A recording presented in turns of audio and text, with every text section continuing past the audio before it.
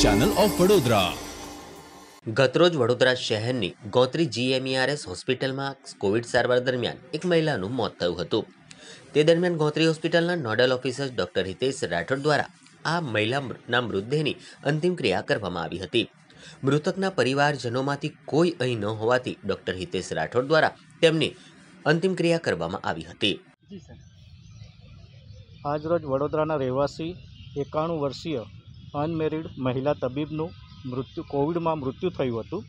Covid protocol પ્રમાણે તેમના સંબંધી કોઈ નજીકનું ન હોવાથી અમારા ગોત્રી મેડિકલ કોલેજનો સ્ટાફ, અમારા બોડી મેનેજમેન્ટનો સ્ટાફ, સ્મશાનના ભાઈ અને બધાએ તેમની હિન્દુ વિધિ પ્રમાણે અંતિમ સંસ્કાર ક્રિયા કરવામાં જે મદદરૂપ થયા છે, તે બદલ હું એ બધાનો આભાર માનું છું.